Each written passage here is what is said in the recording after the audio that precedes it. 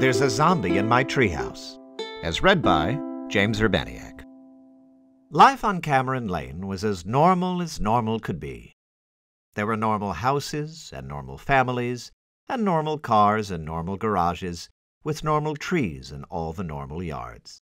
In this normal town, Johnny was a perfectly normal boy. You'd never guess there was anything particularly special about him, judging by his normal looks and normal demeanor. In fact, he was just a normal boy. What wasn't normal, however, was the tree in his yard. Well, not the tree, really. It was just a normal tree. It wasn't even the tree house nestled in its lofty limbs. That was normal, too. On normal days, Johnny would come home after school and play in the tree house. Some days he'd rescue a princess from the evil dragon that perched menacingly in the topmost heights of the old oak tree. Other days he'd vanquish the dread pirate lord, whose flagship just happened to look suspiciously like the shed in Old Man Johnson's yard. Sometimes he even managed to save the Ruby Galaxy from the monstrous Zorgo when his mother didn't make him come in too early. There came a day, however, not that long ago, when Johnny found something abnormal in his normal life. It was the day that Johnny discovered a zombie in his treehouse. How was he supposed to play today, or any day?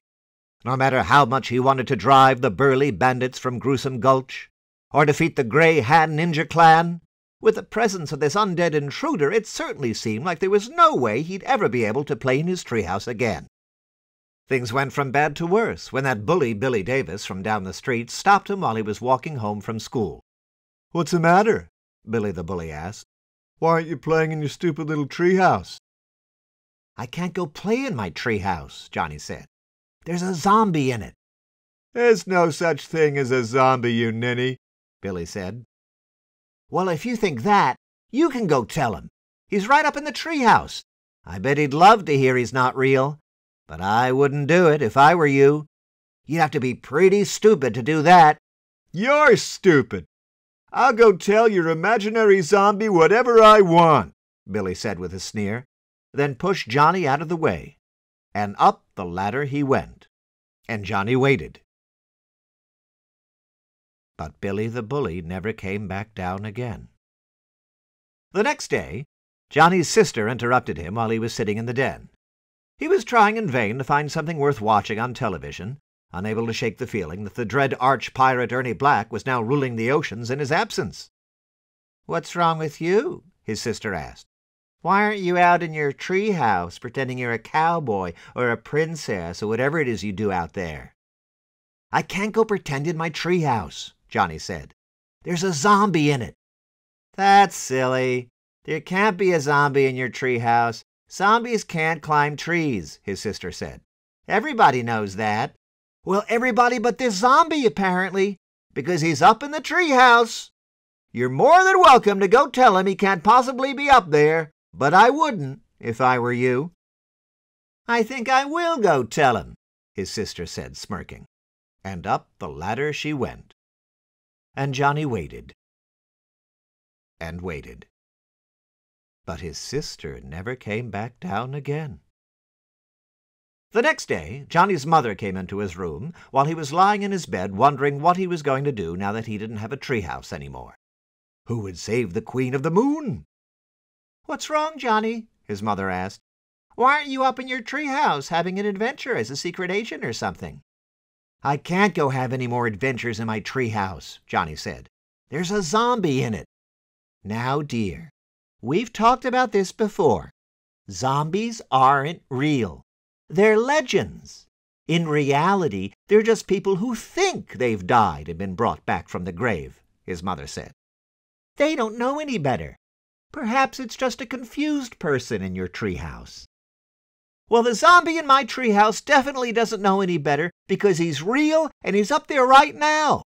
It'd be great if someone could unconfuse him so he'd go away, but I wouldn't do it if I were you. Nonsense! I will go tell that poor deluded man right this instant, his mother said. And up the ladder she went, and Johnny waited and waited and waited.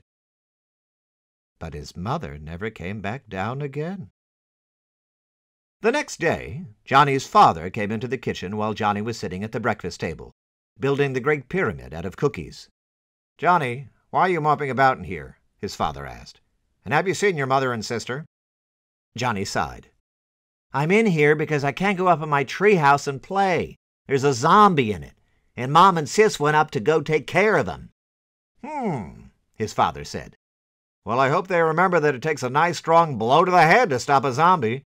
And really, if it's only one zombie, he should be easy enough to deal with. I'm surprised and a little disappointed you weren't able to solve this problem on your own. Well, he seemed to be more than I could handle, Dad, because he's still up in the treehouse. Maybe you could show me how to do it so I can have my treehouse back. I'd be sure to take notes so I can handle the next one. But maybe you should get some help, just in case. Oh, poppycock, son. If it's only one zombie, I won't need anyone else. Dad'll show you how it's done straight away, his father said, as he grabbed a sledgehammer. And up the ladder he went. And Johnny waited. And waited. And waited. And waited.